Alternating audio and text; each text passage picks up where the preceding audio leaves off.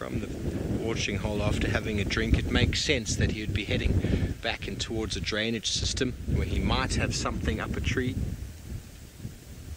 And he'll thankfully take us all the way to it if that is indeed where he's going.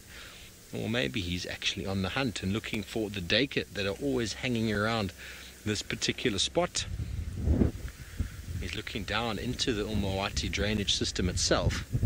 A little bit of an elevated view.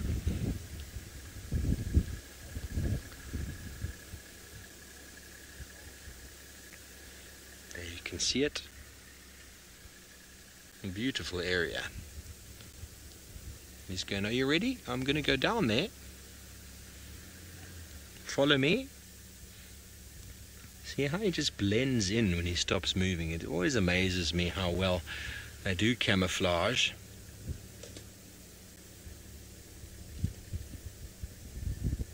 All of his senses on high alert.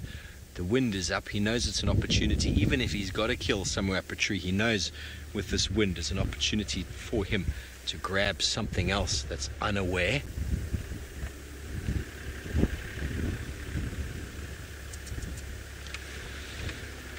Okay.